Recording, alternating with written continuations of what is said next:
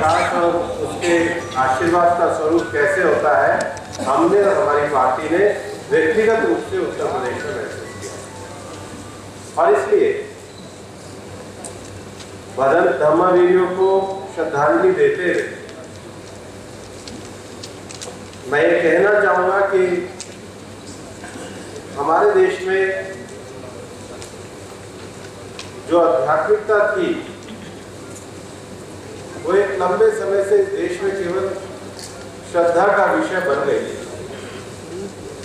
लेकिन वो आध्यात्मिकता, मानवता के लिए है।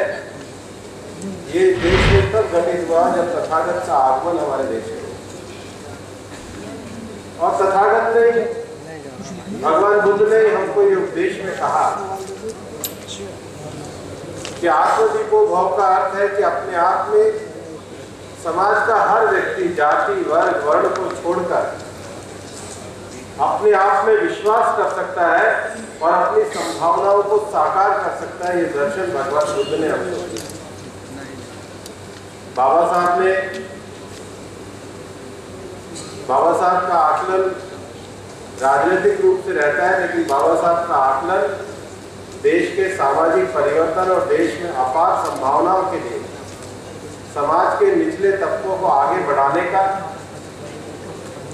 उनके आत्मदीपों के भाव का जो भगवान बुद्ध का दर्शन हुआ, उसको व्यवहारिक रूप से भारत की संवैधानिक पद्धति में लाने का प्रयास ये बाबा साहब के द्वारा किया गया।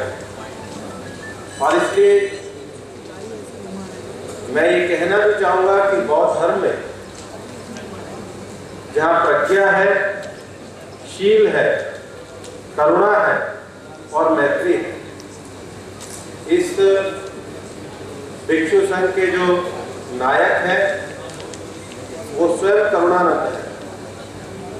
और कोई भी समाज में जब तक करुणा का भाव जागृत नहीं होता, तब तक वो समाज, जो लोग अपनी समस्याओं से वंचित हैं, जो लोग आगे बढ़ना चाहते हैं, उनके लिए संवेदनशील होकर विचार नहीं करते।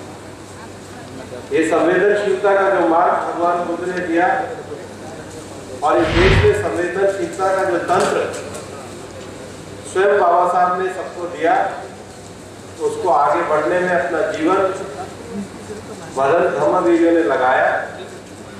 लेकिन ये मैं मानता हूँ कि जो पूरे देश में हमारे बौद्ध धर्म के जो भिक्षु लगे हुए हैं, वो भगवान बुद्ध के इसी करुणा के, प्रज्ञा के, शील के और मैत्री के संदेश को आगे बढ़ा रहे हैं। आप सबकी ताकत से मैं मानता हूँ कि आने वाले समय के भारत में भजन करुणानंद जी का एक बड़ा लाभ और नेतृत्व हम सबको मिलेगा। ये सभा भदंत धर्मवीरियों की श्रद्धांजलि की है, लेकिन ये सभा भदंत करुणानंद जी के सम्मान की भी है। आपका सम्मान तभी होगा जब इस देश में समता मूलक समाज होगा। आपकी जो भी सकारात्मक शक्ति है, उसमें हम लोगों से भी जितना बल पड़ेगा, हम हमेशा आपके विचारों और उद्देश्यों के लिए आपके साथ खड़े हैं। उन्हें आपका सम्मान करते हुए मैं अपनी तरफ़ से और अपनी पार्टी की तरफ़ से मदन धर्मवीरों को श्रद्धांजलि अर्पित करता हूँ। राष्ट्रीय अध्यक्ष जी की तरफ़ से भी मैं श्रद्धांजलि अर्पित करता हूँ मैं विश्वास करता हूँ कि भगवान बुद्ध के ये जो चार मार्ग जो है, ये पूरे देश और दुनिया में भारत की ताकत को बढ़ा करके एक विश्व शांति के मार्ग की ओर पूरी दुनिया को आगे बढ़ाएगा। जो यही विषय बौद्ध धर्म की मूल प्रेरणा है। आप सभी का बहुत बहुत धन्यवाद।